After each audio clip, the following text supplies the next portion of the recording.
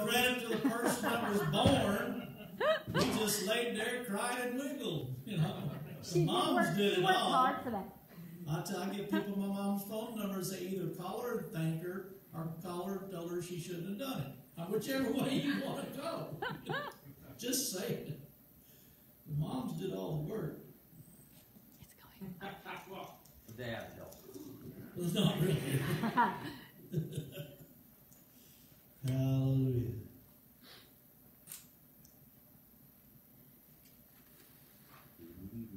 Just a man of sixty-four. Just a man of 64. Yeah. I remember it well. Uh-huh. Just like it was, Will you still feed him? Will you still feed him when he's sixty-four?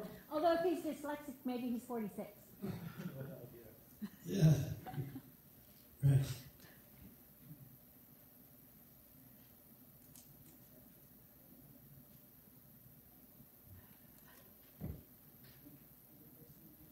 Joy put uh, John fourteen twenty seven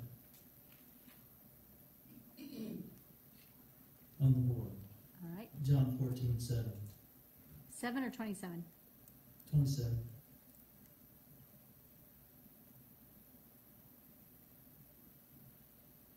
There you go.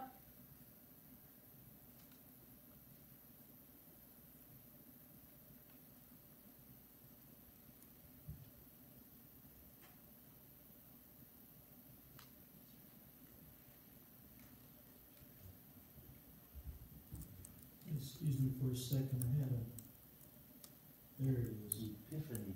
Yeah, you're right. I have, you know, I'm all ready to go, and all of a sudden other scriptures start coming to mind. It's like, so that's all right. We got to rock and with the Holy Ghost. Amen.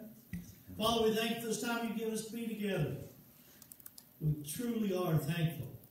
I thank you for this building and this place, this property. I thank you for the heat in this room. I thank you for the hearts that are here tonight, just not here in this place, but that are watching live by Facebook. I welcome all those that are listening. I pray that, that we all surrender our thinking to you. Holy Spirit, I thank you that you've granted us grace to repent, the ability to repent, to change the way we think. Man, when we get the American stuff out, get your word in, May we begin to see your word the way we're supposed to see your word. May we be assimilated into your word instead of your, your word being assimilated into our culture. We want to become what your word says because we already are.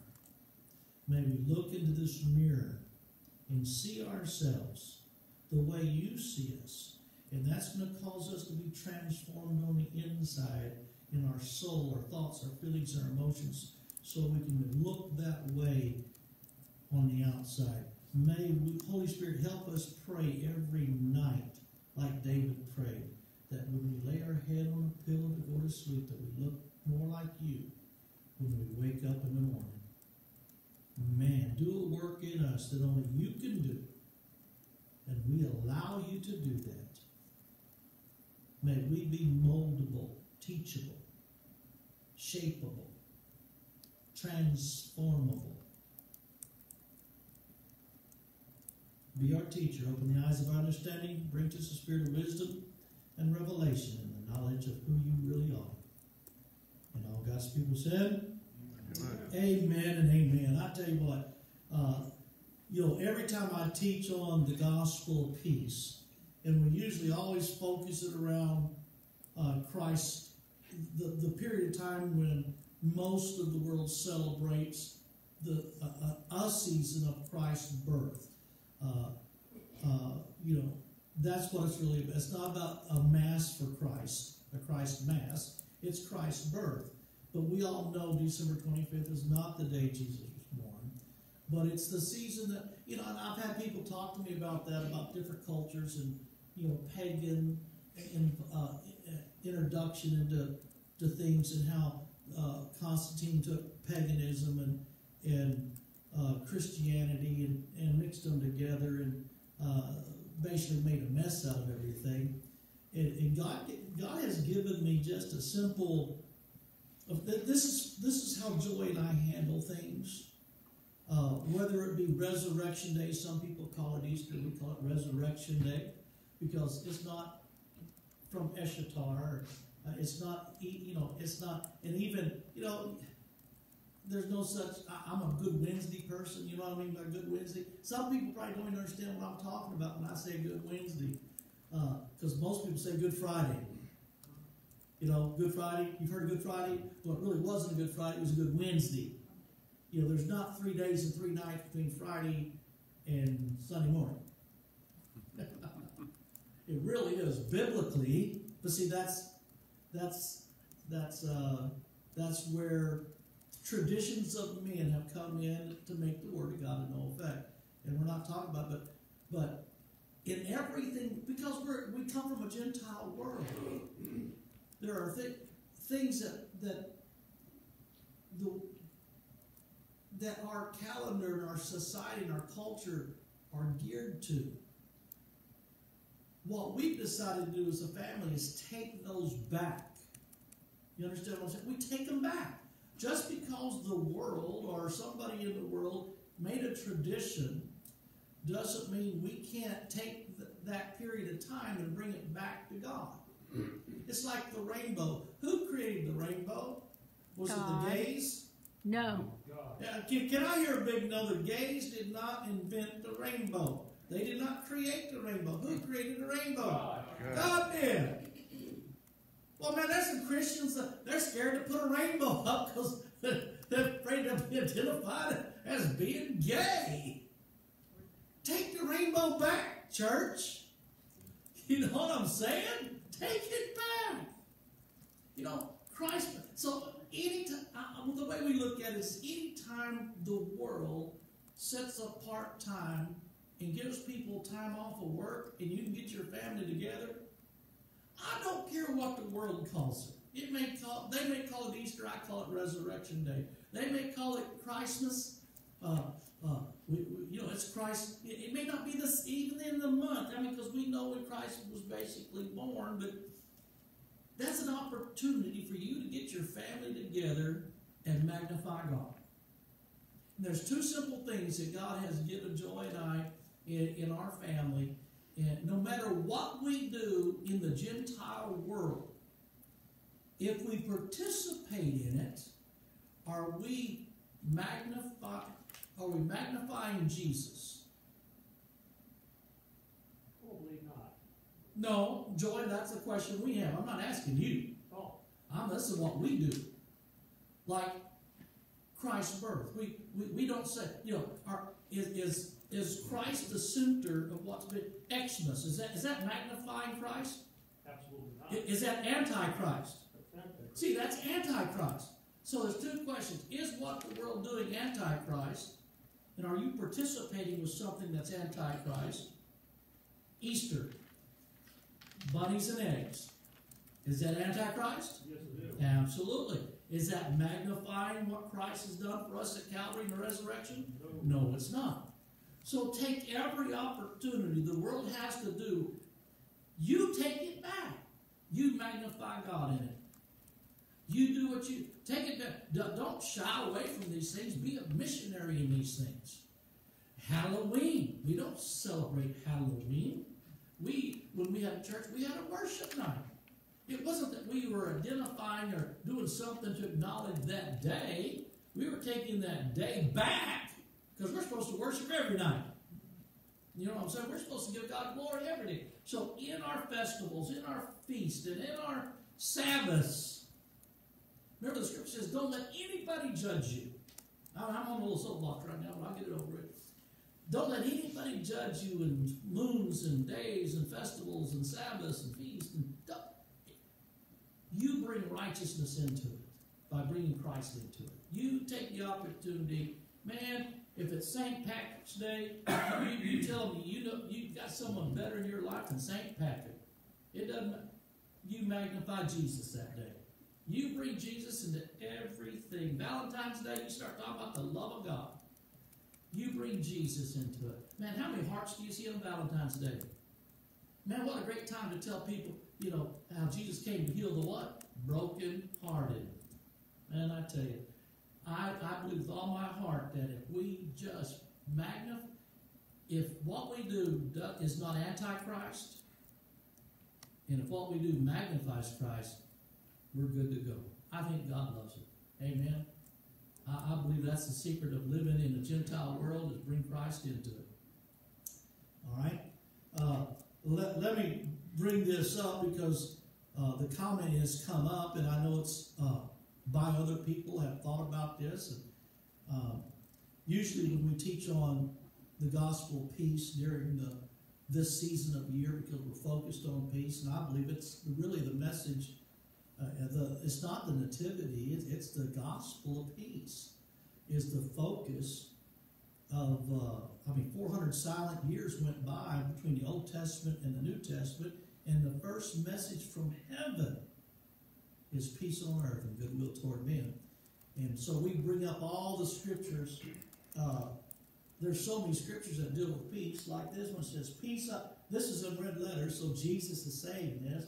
And it says, Peace I leave with you, my peace I give you. Not as the world gives, do I give to you. Let your what? Heart be Let let not- not your heart be troubled, neither let it be what? The very issue that they were dealing with uh, when the shepherds were abiding in a field and they were afraid. See, they weren't scared of the devil in the old covenant. The devil wasn't the focus in the old covenant. God was. They were scared of God. It wasn't the devil that killed 3,000 people the first day the law showed up. It wasn't the devil that killed old buddy Uzzah when he reached out to touch the, the Ark of the Covenant when it was starting to fall. It was God. And so we talk about this, and people always make the, and, and I really appreciate the way people ask the question because, you know, there's there's a couple ways you can ask me questions about stuff, and you know, I'll I'll usually respond. I, wish I was just hundred percent spiritual, but I'm not. So if you if you ask the question, well, what about the scripture that says I didn't come to bring peace but a sword? You know, if you come at me this way, you're going to reap what you sow.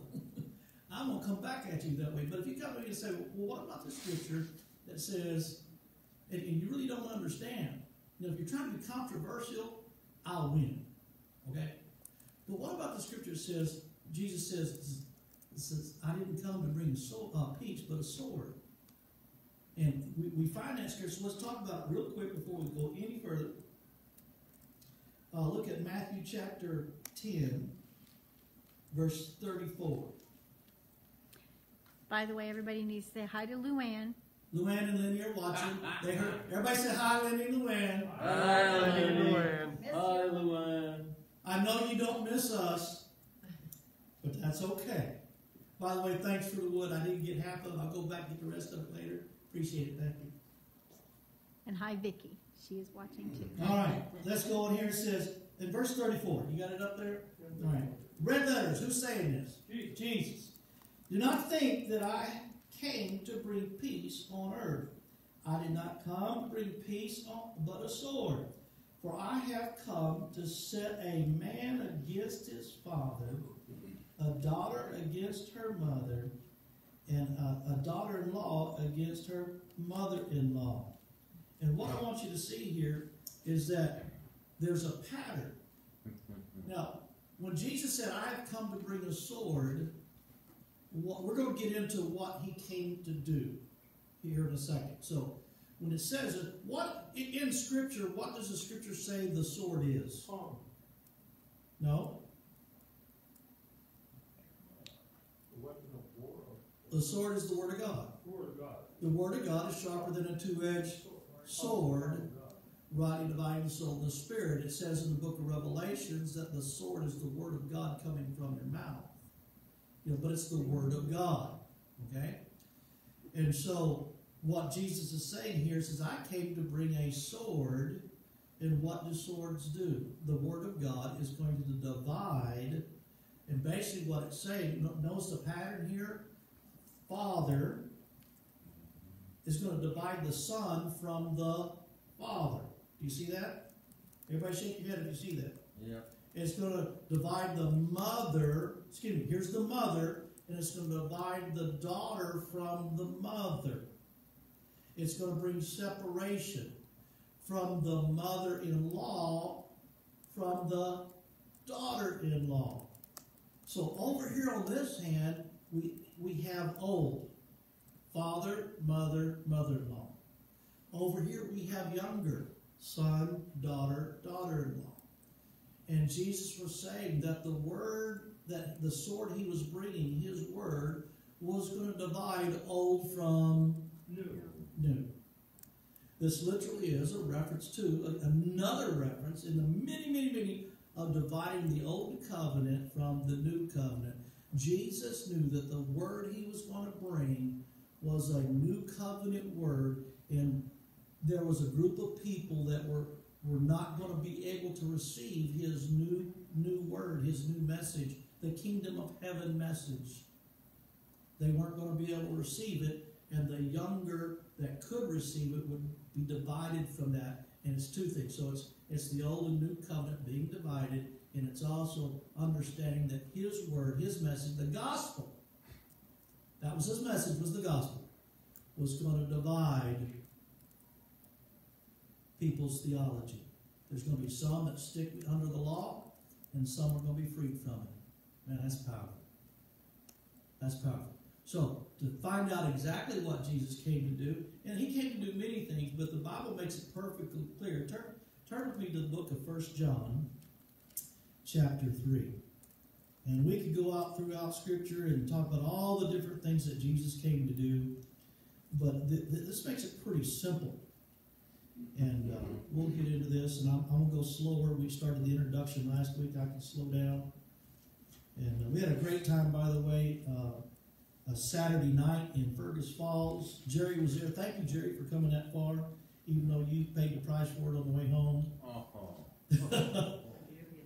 Jerry, Jerry drove all the way out to Fergus Falls just so he could bless everybody with uh, His uh, being gift. part of Joy's worship team, playing the guitar. And uh, oh dear, Wait, get a deer, oh dear, uh, or the deer hit me. yeah, the deer hit me. right the side of my vehicle. So, but thank you for that sacrifice, Jerry. So we're, we're going to get into, we're not going to get into all of this. We've done this before, time and time again. And please don't get, uh, uh, he, I want you to hear, one of the things uh, we try to communicate to people, even though details are important, don't get me wrong, details are important. But don't miss the concept because of details. You understand what I'm saying? You know, when Jesus was speaking about the kingdom of heaven, when he was talking to farmers, he said, Hey, you know what? The kingdom of heaven is like unto this. It wasn't. And then when he's talking to fishermen, yeah, you know, the kingdom of heaven, it's like unto this.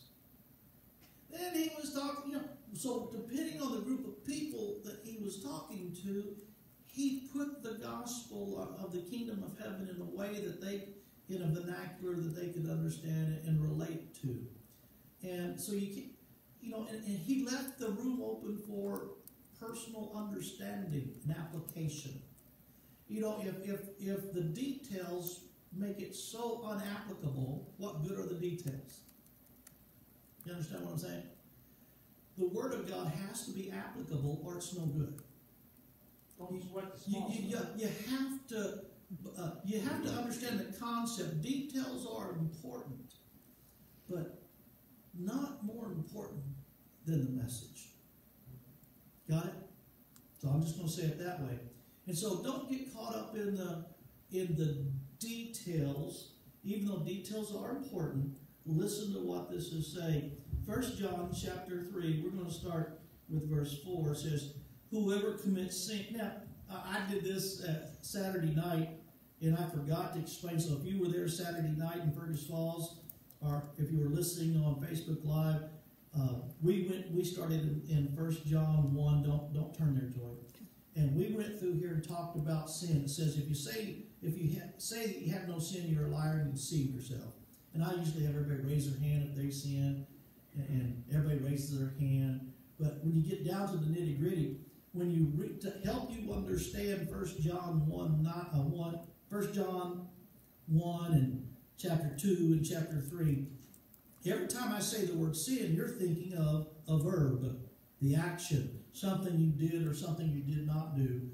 Uh, and in, in this in these passages of scripture, sin is mentioned in two ways. One is a noun and one is a verb. And so when you see, uh, you have to understand which which uh, what type of sin are you talking about? It's not talking about like uh, is it is this the action it's talking about? So in other words, if you confess, it doesn't say if you confess your sins. In other words, I did this, I did this, I did this, I did this, and have a list that He's faithful and just to forgive you of all your unrighteousness. No, it's saying if you confess that you're a sinner. See, you don't have to list all your sins you've ever done. He's forgive. You confess. If it's the scripture goes on, First John one nine, it you know, says, if you say you're not a sinner, you deceive yourself. See, it's not saying you have not sinned, but if you're not a sinner, it's a noun. It's a subject of sin. Talking about a sinner. And some of them are verbs. And so you need to go through there and mark which ones are nouns and which ones are verbs. So to make this clear, let's just, uh, since we said that, let's go to verse 4 in chapter 3. Whoever commits sin also commits lawlessness, and sin is what? Lawlessness. And you know that he was, talking about Jesus, was what? Manifested. Again, every Monday night, I, I know other people in the world don't know this, but every Monday night when we teach here, it's national, across the board, crowd participation day. National. So when I pause and you're reading up here, and I say, and you know that he was, and I pause, even on Facebook Live, you can say, manifested, real nice and loud, so I can hear that you're awake and you're listening. All right? So it says, whoever commits sin also commits lawlessness, and sin is lawlessness. And you know that he was Manifested. to take away our sin. Man, that was the purpose of Jesus, was to take away our sin. And it's actually a noun. Our sin nature. The subject of sin. Not all your little bitty individual little bitty ones, but your very nature. Man, you stop to see, and- and we'll, we'll get into this as we go along. Just I'll have to hopefully stick to this. It says, He was manifested to take away our Sins. sin nature, our sins, the subject of sin. I, I ask the question all the time when I go, usually when I go to a new church, how many sinners saved by grace? You know how many hands go up? All of them. That's what they've been taught. They're sinners. No. I said, no, you were a sinner that was saved by grace. But now that you've been saved by grace, now you're saved. You're a king's kid. You can't, you, your actions don't make you what you are. Who you are determines your actions. That's why I tell people when you understand, when you get a revelation of righteousness in your heart, righteousness is not go, it's not going to want to sin. You're not going to want to go out and do the stuff you used to do when you had an unrighteous heart, because righteousness is in the heart. It's in the heart. And when you have a righteous heart, you're going to live righteous. You're going to do righteous. You're going to your want tos are going to change. You're not you're not going to want to do the things you used to do when you had, had an unrighteous heart. Now people say, well, you're just telling people grace, grace is just setting people free to, to, to sin. You're free to sin anyway. The law never kept you from sinning. Got a question. How many people out there in Facebook land have ever heard a message about it, about hellfire and brimstone and eternal judgment of God? Everybody raise your hand if you ever heard that. Has that kept you from sinning? No! it hasn't. Why don't we try the love of God, the grace of God, God's ability working in us with a righteous heart, letting your heart understand who you are in Christ Jesus, and you're not going to want to no more. I love the story of Jesus in the temple. The, the woman caught in adultery uh, came. Uh, they brought brought her to him, and uh, we're not going to the whole story, but he turns after he stands up, and there's no no accusers there. He turns to her and says, Woman, where's your accusers? What does she say? There are none. There Are none, Lord. Go and sin no more. He said, I don't accuse you either, so go and sin no more. He didn't say, Woman, did you do it? he never asked the question. He didn't put the word guilt in her heart. He said, I don't accuse you either. He set her free. And it was in that freedom that was placed in her heart. Then he said, Now, with that freedom, go and live like you've never lived before. With the power of what Jesus, see, Jesus healed her broken heart right there. Jesus came to do what? We read it last week. We're going to read it again tonight. In, in, in the book of Luke, chapter 4, it says, He came to heal the broken. Don't change it. He came to heal the what? Hardy. The brokenhearted. Jesus' ministry is about healing. The reason she had committed adultery with, some, with a man is because she had a heart issue that had to be healed. Jesus healed that heart right then and set her free from ever doing it again. The problem is we haven't let Jesus heal our heart. We don't understand the power of the cross, the power of Jesus in our life, in our heart. Say heart. Heart. Man, that's powerful. So it says here, verse 5 again. And you know that he was manifested. What was Jesus? He was manifested to take away our sins. And in him, say in him. In him. How many people are in Christ? I tell you, in him there is no sin. Now, for us to understand this, let me go ahead and read the rest of this. Whoever abides in him, no, in him there's what? No sin. Say it. No sin. That's a noun. In him there's no sin. And the very next says, whoever abides in him Does not sin. Does not sin. Whoever sins has neither seen him or what this, this see you got to get away from the verb. It says it says whoever abides in him is not a sinner. Whoever is a sinner has neither seen him nor Knowing him. known him. It does, listen, the scripture says this that even if we sin after being born again, we have an advocate with the Father, that's Jesus Christ. So he's not talking about the, what's happening in the flesh the way you see it. This is talking about what's happened in the spirit, in the spirit realm that you can't see. To understand Scripture, you must understand spirit, soul, and body. To understand the kingdom of heaven, you have to understand spirit, soul, and body. And to understand eschatology, you have to understand spirit, soul, and body, and just not what Americans read in Scripture, but Jewish culture and Jewish calendar. I, I rarely, if ever, hear of anybody teaching an eschatology that has all these verses out here in scriptures. And I explained it to people in uh, Fergus Falls that uh, eschatology is like uh, a, a kaleidoscope. And as long as it crosses in the middle of the lens of kaleidoscope, and a, uh, not a, a kaleidoscope has has three mirrors on the inside, and you can say Father, Son, Holy Spirit if you want to. Kind of cool. And, and as you turn it, the little in all the scriptures pertaining to to eschatology is in there in a different color. And as you turn it, you're looking at the kaleidoscope and you turn it, and every every little thing changes. That's the way people are with eschatology. You got all these scriptures. I've heard I've heard many people, lots of people, take one scripture and some of them use it here, some use it here, and some use it here. It's like turning, and it all comes out different.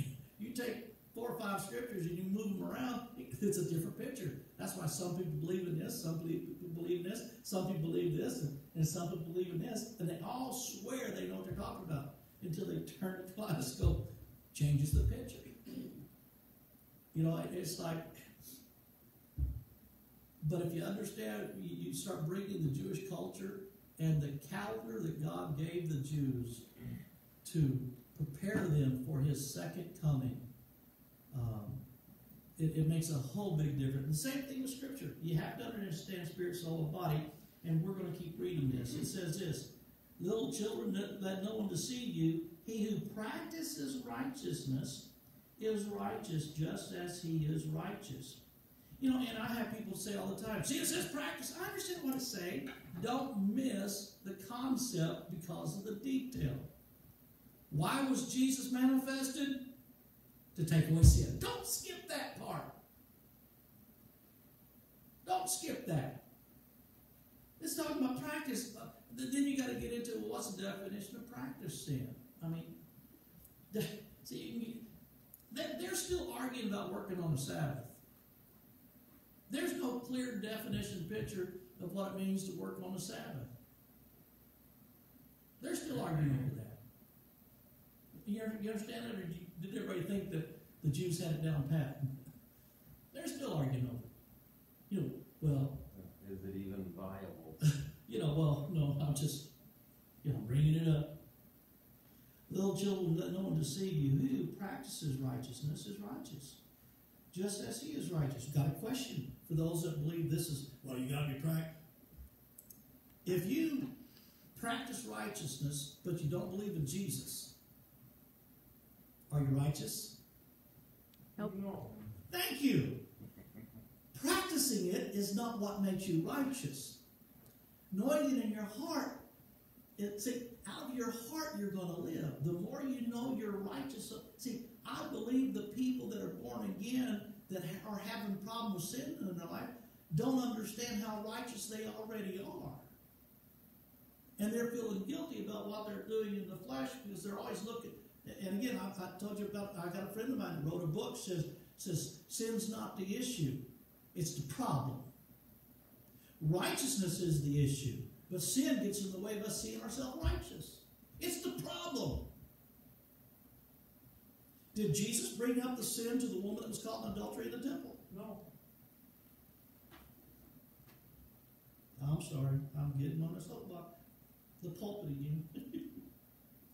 Little children, let no one deceive you. He who practices righteousness is righteous, just as he is righteous. He who sins,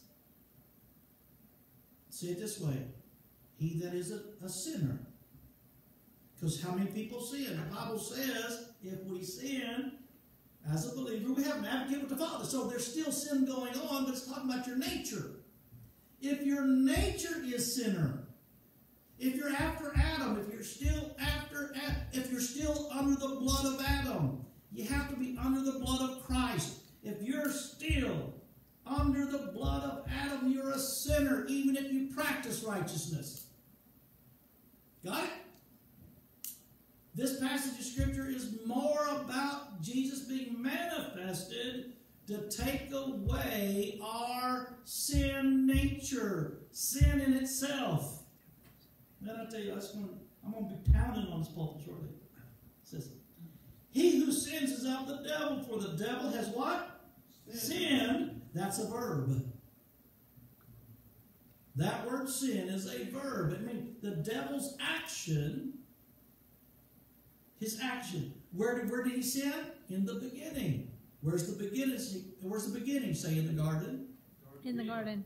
Man, I tell you, we, we could get into this really good and, and has a lot of fun in this, but was was and what's it say here? What's it say? The devil has sinned. Was the devil in heaven, or was Lucifer in heaven? Lucifer. was. Luc- did, did God create the devil? I, I, we're, we're, this is for that. He created Lucifer. Now, now, now, now, people need to Yeah. understand this is for Bible nerds. Not everybody needs to know this. So if you're not interested, just close your ears and don't listen. All right? See, God created Lucifer, but where did the devil come from? Lucifer turned into the devil. Lucifer turned into the. How did that happen? It happened at the garden. The, the Bible tells us in Ezekiel 28 how beautiful, magnificent, iniquity was found in his heart, and then he sinned in the garden when he he, he deceived Eve and manifested his iniquity. And he deceived Eve. He sinned in the beginning. And when man gave, when Adam gave the authority over, the authority that God gave him, when he gave, he became, that's when he became, that's when even Jesus says Satan is the God of this world. The devil has sinned from the beginning, but Lucifer, his name was changed. Lucifer's name was changed from Lucifer to the devil and Satan.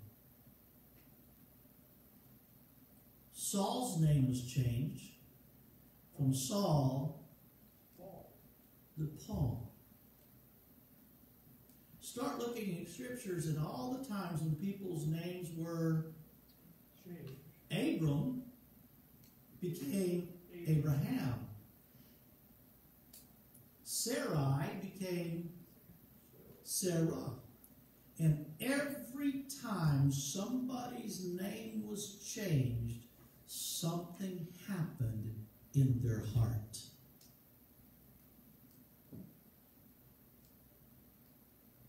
Something happened to cause the name to be changed. Man. Every time there's a name change, there's a story to be understood.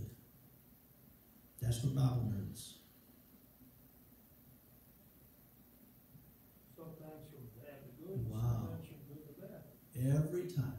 That's power. That's a whole. That's a whole teaching and understanding all on its own right there. Question: Has your name been changed? Has something happened in your heart? Have you gone from being a sinner to a saint, a child of God?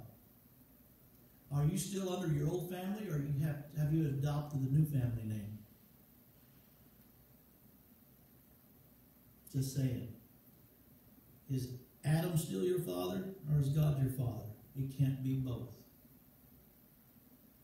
The gospel is not about making the sin nature better. It's about becoming a new creature in Christ. The old things passed away, all things have become new. We won't get in. Let's go on. Little children, verse 7 let no one deceive you who practices righteousness is righteous just as he is righteous. He who sins is of the devil, for the devil has sinned from the beginning for this purpose. The Son of God was Manifested. that he might destroy the works of the devil. Whoever has been born again, can I say it that way? Born from above, born from, or born of God, does not sin. That is a noun, it's not a verb. It doesn't mean you're not going to mess up, because if you mess up, you have an advocate with the Father to make to take care of the mess up. Jesus is our advocate. You understand this? It's not saying you're not going to sin again. It says you're not going to be a sinner when you sin again. Oh. That's good, Dan, right there. You know what I'm saying? Most of it. Oh. That means I gotta mess with. that means that when you sin, you're not going to be a sinner. You can't be, if you're born from God, you can't be a sinner. Your sin doesn't make you a sinner. You don't lose. Adam did. You don't lose your sonship. Oh, come on. Woohoo. Man, that's the gospel. That's the word. This, this whole passage of scripture is pointed to the cross. Does everybody understand that? Jesus was manifested to what? Take away the sin. that he might destroy the works of the devil. And what and did the what has the what did the devil do from the very beginning? Sin. Sin. Sin is not a product of God's creation, people. He didn't create sin. Man did.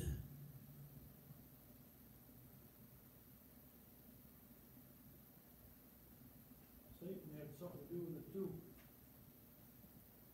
God didn't give Satan authority. Jerry, That's true. God gave Adam. Don't blame it on the woman.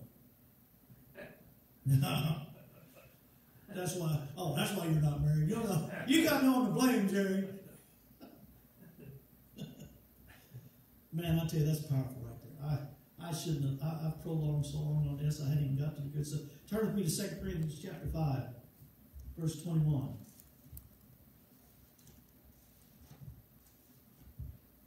Second Corinthians chapter 5, verse 21. Before we read 21, we have to go back to 14. For the love of Christ compels us, because we judge thus, that if one died for all, then all died. And he died for all, that those who live should live no longer for themselves. I want to say this right here. Quit living let, me, let me put this. The more you live for yourself, the more you make decisions where it's just you involved in it, the less you understand what Christ has done for you. The fewer people you have in your life, the less you understand the abundant life that Jesus came to bring you. Jesus said he came to bring us life and life more Abundant. abundant. As we grow older, we should have more influence in people's lives than we had yesterday when we were younger. That's the importance of being grandparents. You really should have more grandchildren than you had children. You might have screwed up with your children, but you know better now. You got grandchildren. You can plant seed. You can love them. Isn't it easier to love your grandchildren unconditional? than it is your children were. At Linda. Linda's, oh yeah. Children are hard to love unconditional, but grandchildren, ah, No, they're not. No, they're not. Come here, give me a hug. And you say, what? It'll be okay. Why? Because it was okay in your life. You just didn't know it when it happened. You know you worked through the problems. You know, it, it- it's going to be okay. This too shall what? Pass. Just keep God in the center. Keep God in the focus. I'm sorry, I'm meddling, but I can do that. I'm at home. Verse 16. Therefore, from now on, we regard no one according to the flesh, even though we have known Christ according to the flesh. Yet now we know him thus no longer. Therefore, if anyone is in Christ, he is a new creation. Old things have passed away. All things have become new. This is in the realm of the Spirit. These are these verses that I was trying to share with you. If you don't understand spirit, soul, and body, you will not know. You say, Well, I'm not new. Yes, you are. In the Spirit, you're new. In God's eyes, you're new. God has done a work in you. He is already sanctified. God desires that we be sanctified, spirit, soul, and body. That's what it says in Thessalonians. It says God desires that we be sanctified, spirit, soul, and body. He's already sanctified the spirit man with the work of Christ. Now, our soul needs to be sanctified. Our thoughts, our feelings. If you try to sanctify your flesh without sanctifying your soul, it ain't going to work. You're going to be frustrated. You're going to give up. If you try to live, if you try to live sinless on the outside without knowing that you're righteous on the inside, if you still see yourself as a sinner, guess what? Guess what the most natural thing for a sinner to do Sin. is? It's sin. It comes natural. It's easy. That's why babies are selfish. When they come out, they're selfish. They're not thinking about their mother in their sleep. They want to eat. They want now. They don't care what time it is. They're born with that nature. So your nature has to change and not be selfish. Therefore, verse 17, if anyone is in Christ, he is a new cre- creation. Old things have passed away, all things have become new. Now, all things are of God who has reconciled us to himself through Jesus Christ and has given us the ministry of what? Reconciliation. That is, and we're going to talk, we just got to keep going. That is that God was in Christ, reconciling the whole world to himself, not imputing their trespasses to them. Why, what, did, what was the purpose of the law? The law came, see, there was sin in the world. You understand that? Before the law came, sin was in the world, but it wasn't imputed. You weren't responsible for your sin. The Bible says that the law came so you would be responsible for your sin. It was put on you. The law put your actions on you. Okay? That was the purpose of the law.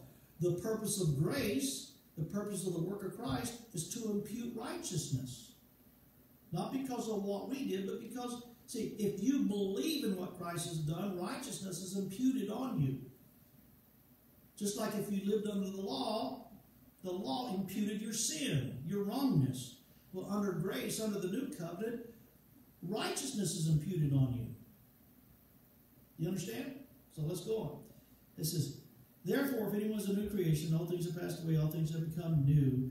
Uh, now all things are of God, who has reconciled us to himself through Jesus Christ, and has given us the ministry of reconciliation. That is, that God was in Christ reconciling the whole world to himself, not imputing their trespasses to them, and has committed to us the word of reconciliation. What's to say? He's not imputing. There's see the we've been told that sin, God dealt with sin through Jesus Christ. We're going to read. We're going to when we get down to 21, we'll, we'll go back and talk about all this. That is, that God was in Christ reconciling the world to Himself, not imputing their trespasses to them. That's powerful.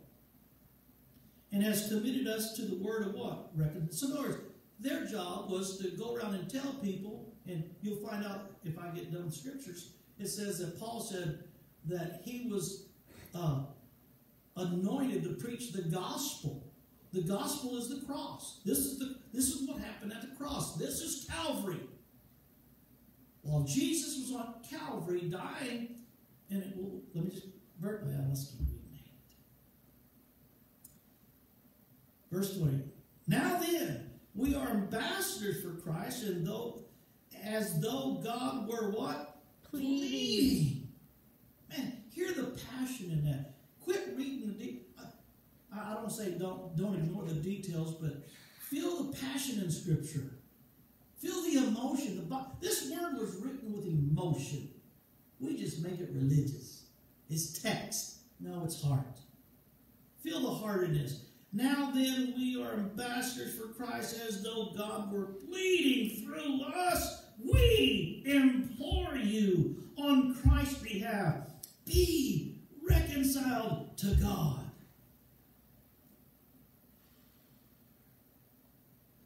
Wait a minute, I thought we said we were reconciled to God. Didn't it just say that God was reconciling the whole world to himself? Yeah. Now you be reconciled to him. Is it God's will that all men be saved? Yes. Yes. Are all men going to be saved? No. No. Is it God's will that all men be healed? Yes. Yes. Is it God's will that all men live on earth whole? Yes. Yes. Are all men going to be healed all men going to live whole? Nope. But to them that believe. See, only if you believe what God's done for you are you going to receive it. Just like in salvation, it's God's will that all men be saved. And in Christ, He He forgave the whole world of all their sins and don't He doesn't hold their sin against them anymore. Because He dealt with sin at Calvary. We're going to get that in a second. So their ministry, their gospel that Paul was preaching was to tell the world, he's imploring people, listen, God has forgiven you of all your trespasses. Now you believe what he's done for you and receive it. We need to quit telling the world they're guilty. Your sin is not separating God from you. Your sin is separating you from God. The scripture says sin wars against your soul. It doesn't war against God. He dealt with it. See, God has always loved man. That's why he made him. He didn't make man to go to heaven. He made man to be on earth, to walk in the cool of the evening and have a relationship. And then sin got in the way. He's always loved man, but he's hated sin, so he had to deal with sin. So in Genesis chapter 3, God gave the prophetic word of what was going to happen in the future. That the God of peace was going to send his Prince of Peace to establish peace on earth through his son at Calvary. And while his son was at the cross, what, what's it say here? Verse 21 For he made him who knew no sin, that was Jesus, to what? Peace.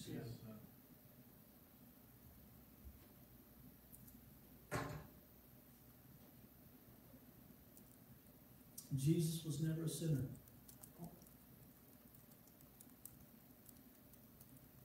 It says that he took on the sin in his flesh, in his soul, and not his spirit. Jesus' body literally became sin. All of it. He didn't become, and, and, and I know this written in the book, and I, uh, I listen, I just say it different than than in a book that I really appreciate and and I actually promote a whole lot. Uh, and Jesus never became a homosexual. You understand? But he be, his, He took on he took homosexuality on homosexuality. on his flesh. He never became one. He never took on. He was never a murderer. He took on murder. He became murder. He became lying. He became homosexuality. He became lust. He became the sins, all the sins of the world, and God hung those sins on the cross and poured out his judgment and his wrath for all man's sin that started at the Garden of Eden when the devil sinned in the beginning and caused man to sin. Because Jesus was manifested to, to destroy the, the work of the devil. He destroyed sin. Reason we don't walk in victory as believers is because we don't understand in our heart really the exchange process that took place at Calvary. We think that Jesus saved us, but we still have to. He set you free from sin of the world. You are. The, the book of Galatians says it this way Stand fast in the liberty in which Christ has made us free. Free from sin in the spirit. See, I, I could hear people, as soon as it said that, people go, Well, how come I still have a problem? It's in your flesh. It's a heart issue. It's not a spiritual issue. Because if you've been born from above, you can't be a sinner. But your flesh is going to mess up. And when your flesh messes up, you have an advocate with the Father that reminds you that your sin's been paid for. Quit living in the problems that your sin produced. Quit it. You're free. The Apostle Paul said this at the end of his ministry. Got a question. Is murder and killing a sin? Say yes. Is it against the Ten Commandments? Say yes. Thou shalt not what? Murder or Kill. kill. And what was he doing to the church? He was killing the church. The people. But he was under the law, but he felt he was doing God a favor. Was he breaking the law when he was killing Christians?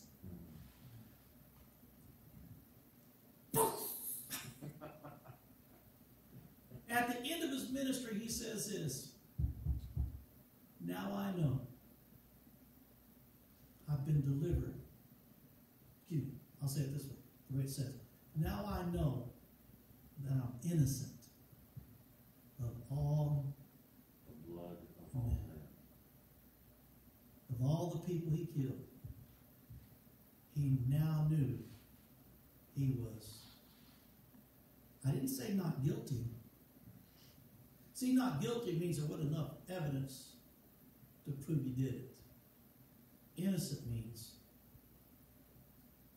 there's no accusation.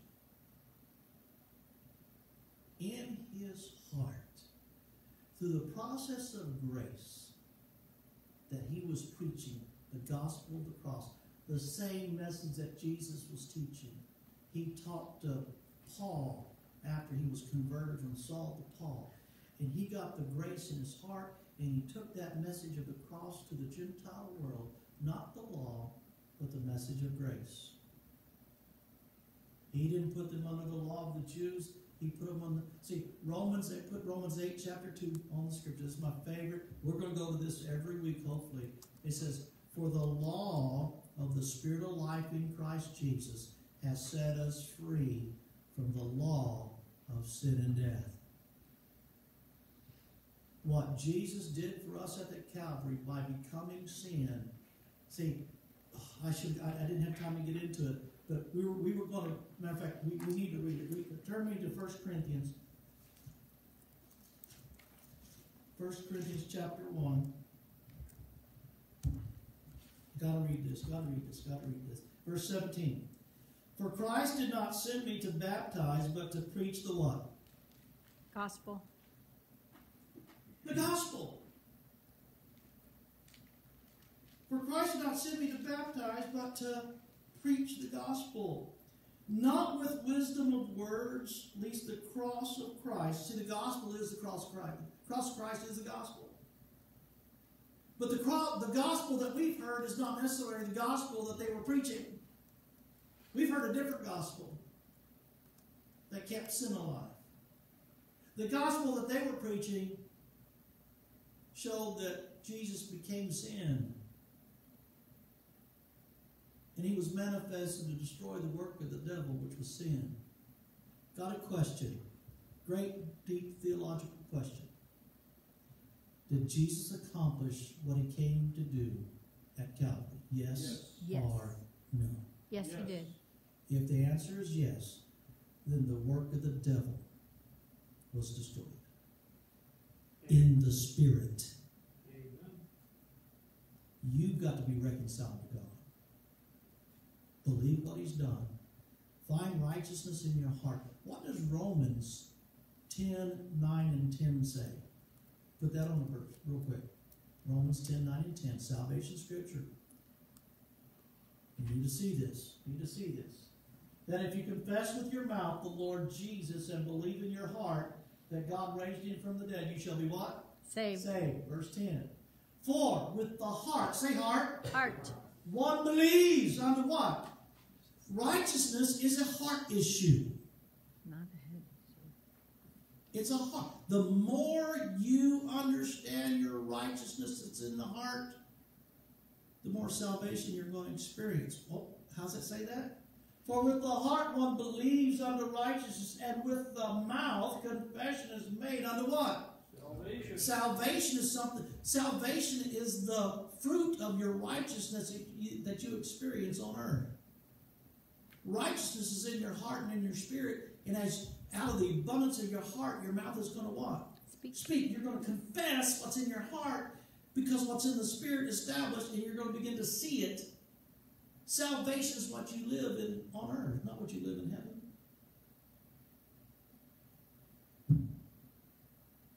I'm going to go ahead and read this. Verse 17 in 1 Corinthians chapter 1. For Christ did not send me to baptize, but preach the gospel, not with wisdom of words, lest the cross of Christ should be made of no effect.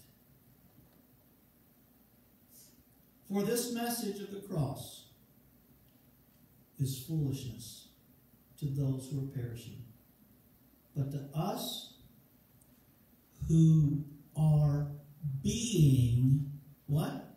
Saved. It doesn't say for us that are saved. Does it say for us that are saved? No, being saved. Saved, salvation is a process. It's not a one time out of your mouth experience that lasts for eternity. Salvation is a ongoing experience where the Word of God is now being imparted into your heart and your soul that renews your mind, and you're not being transformed by the, uh, you're not being changed by the world. You're being transformed by the Word of God in your life, and now you're experiencing. You're becoming whole. It's already taken place in the Spirit. The word salvation is a perfect tense word. It's past, present, and future, Future and all at the same time. You were saved. You're being saved and you've yet to be saved. Does you understand that? Another scripture, put Hebrews chapter 10, verse 39 on the board, real quick. We need two computer operators, real quick. Hebrews 10, 39. But we, now the, who wrote the book Hebrews? We think Paul. We think Paul did, but let's just go ahead and just say this. But we are not of those who draw back to perdition, that's destruction. What this is saying, we are not of those who go back under the law, because that's destruction. We are not of those who draw back or go back. He's talking to Hebrew people that have been born again. But we are not of those who draw back to destruction, but of those who believe to the saving of our soul. The Apostle Paul was saying his soul was still being saved. He's not going to go, back and live under the law. He is going to receive more and more of the grace of God in his life until his soul, his thoughts, his feelings, and emotions, will line up to the truth that's been in the Spirit. And this happened to him at the end of his ministry where he said, I'm innocent. He understood to the degree of the grace of God in his heart about how righteous he was. He was innocent of the blood of all the men he killed.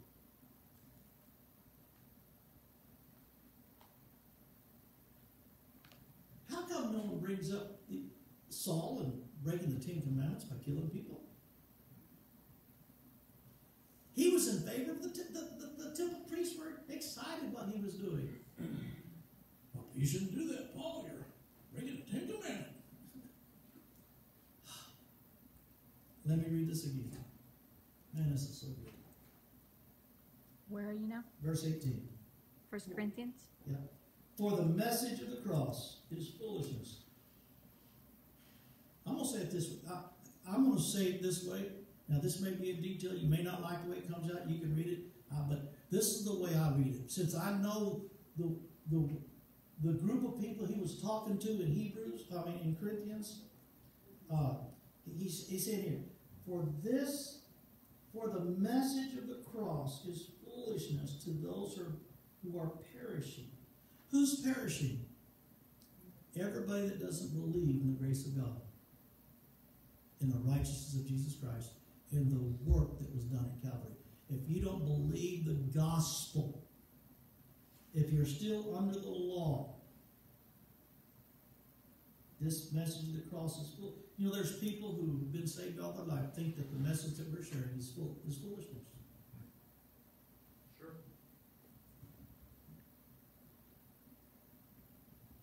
Those people are perishing. For the message of the cross is foolishness. Is it foolish to think that everything depends upon Jesus and the Calvary? No. No, it's not foolish. I hear people say, well, do you believe Jesus paid the price for sin? Yes or no? Yes. But, they always add something in there. But now we have to live this way. Have to? If you have to, you're not free. Only when you're free can you respond to what Jesus has done for you. You want to. You want to. The church of the want tos. Man, It becomes your I natural don't- response. want to sin. So you realize some people still have to? Because they're under the law. The- The scripture says the law will make you sin. The more law you're under, the more sin you're going to be under. Don't It touch just the gets buried weapon. deeper. For the message of the cross is foolishness to those who are perishing. But to us who what? Are being saved. It is the power of God. It's the power of God. If you don't have the power of God in your life, you don't have the message of the cross, which is freedom from sin, because the devil was destroyed. Sin was destroyed. Jesus was manifested. I don't. It doesn't matter what you, theological people out there are. Yeah, listen. The Scripture says that Jesus was manifested to destroy the work of the devil. Did he accomplish that? Yes or no? Yes. Yes. Then hush up. Ask the Holy Spirit to teach you. I don't have the wisdom of words to convince. I don't want to convince people. I want the Holy. I want to challenge your mind so you go to God and go, "Oh my goodness, God, will you please show me what is truth and let that truth set you free." Don't believe something because I say it in a way that makes you. I don't want. I'm not selling the gospel. It has to be revealed. But here's a little statement I learned a long time ago. I got a scripture for this. I'm not going to turn to it, but it says basically it says this in the scripture: If righteousness is not revealed, you'll work for it, and if you work for it, you'll never find it. Works are unimportant to God. In the new covenant, you can't work for righteousness if it's not revealed. I literally people say, "What I got? I've been doing in church." all-" this is the hardest thing for people to understand are people have been in church all their life. I tell people sometimes I've been in church all their life. The best thing they can do is quit going to church because that's what screwed them up. I'm serious. Where did Paul go? Did Paul go to church when he got changed from Paul to Saul or Saul to Paul? uh, Saul to Paul? He ended up in jail. No, he took off and went three years by himself with Jesus. Yeah. Some of us need to quit listening to the junk we've been listening to and take the Word of God and just read the book of Romans. Because you're a Gentile. book of Romans was written to Gentiles, people in Italy. Just read the book of Romans. And Ephesians. Read Paul's letters to the Gentiles. That's who we are, or were. Read, read, read Paul's letters to all the Gentile churches. He says it, in, you know, he says the same thing in Corinthians he says in Romans. Same message. Gentiles.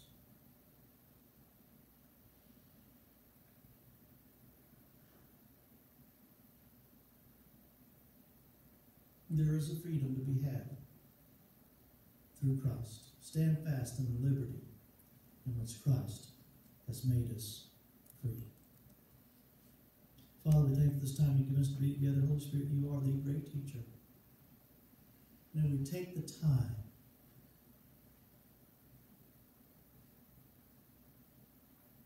May we take the time that you've given us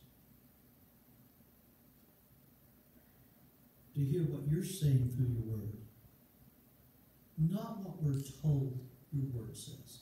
Faith comes by hearing. Faith doesn't come from being told. May we hear your word again for the first time. Holy Spirit, be our teacher. And all God's people said, Amen.